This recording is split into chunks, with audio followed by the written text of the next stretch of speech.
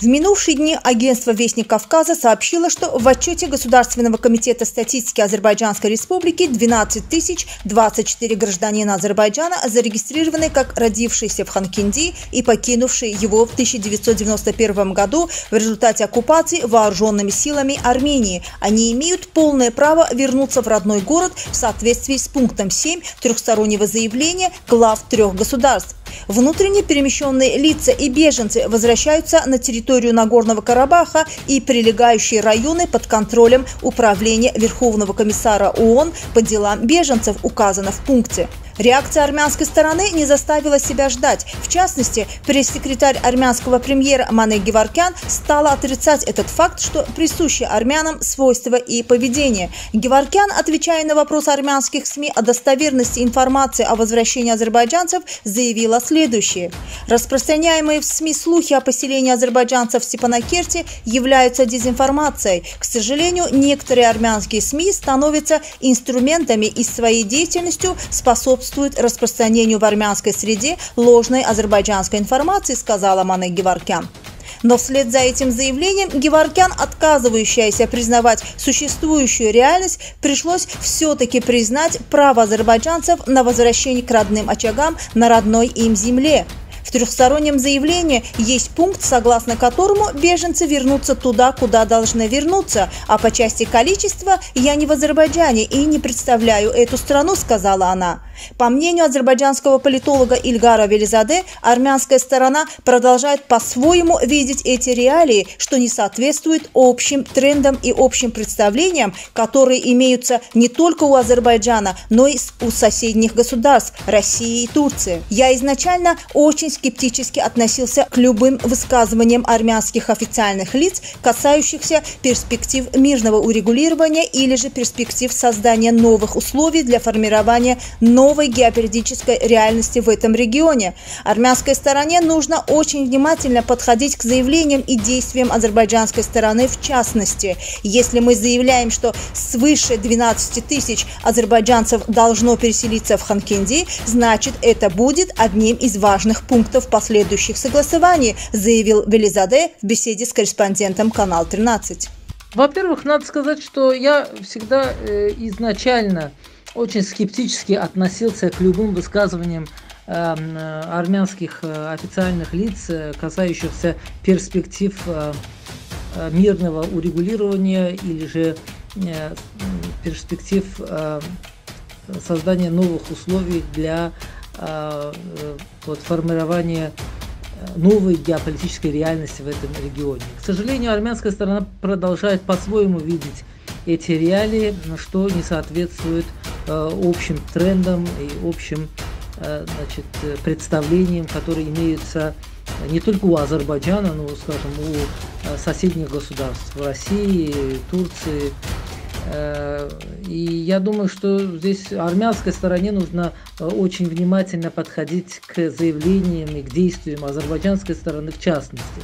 Если мы заявляли, заявляли то есть официальные представители Азербайджана заявляют, что э, значит, свыше 12 тысяч азербайджанцев должно переселиться э, в Ханкенды, значит это будет э, одним из важных пунктов последующих согласований. Мы знаем, что в трехстороннем соглашении пункт о возвращении всех беженцев на места их постоянного проживания был, и э, руководствуясь этим пунктом, азербайджанская сторона сегодня проводит э, значит, э, оценку э, ситуации, э, в частности, уточняет списки лиц, которые в ближайшее время будут возвращены. Здесь, причем, э, надо сказать, не только в, Хан, в Ханкенде они будут возвращаться, но и в Ходжалы, во многие населенные пункты Аскеранского района, бывшего Аскеранского района, нынешнего вот,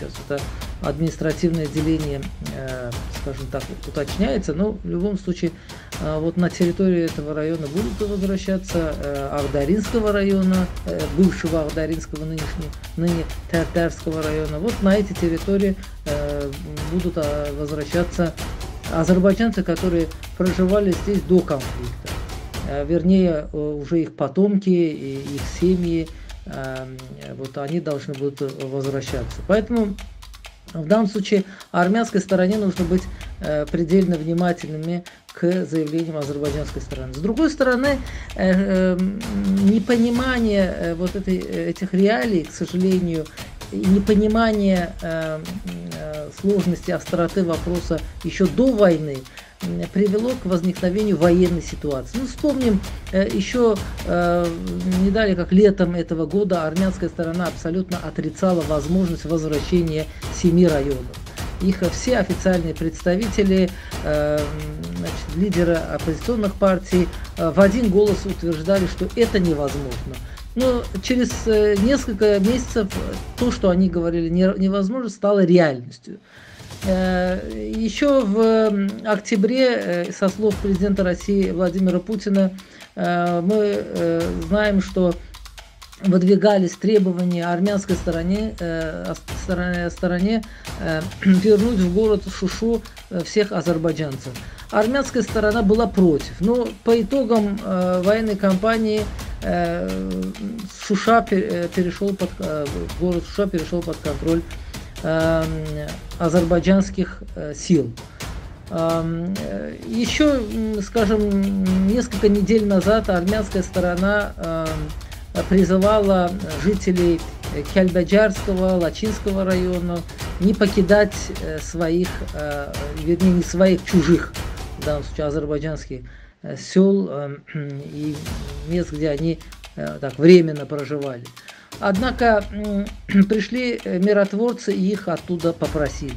Теперь вот э, очередное нелепое заявление, которое не вяжется с условиями э, достигнутого трехстороннего соглашения, где прямо прописано, что все беженцы, включая азербайджанских, на территорию Нагорного Карабаха значит, необходимо вернуть.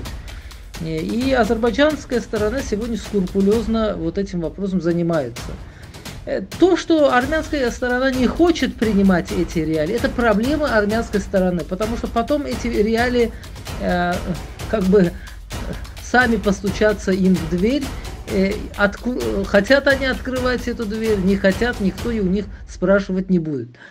Поэтому я думаю, что э, э я следует все-таки э, э, в, данном случае больше внимания уделять на действия азербайджанской стороны, в частности, кто эти люди, э, которые, э, семьи, которые будут возвращаться в э, места их постоянного проживания, как этот процесс будет реализовываться, какие согласования будут проходить, в том числе с миротворческой миссией. Вот это более практические, практичные вопросы, которые сегодня стоят на повестке дня и которые более интересны.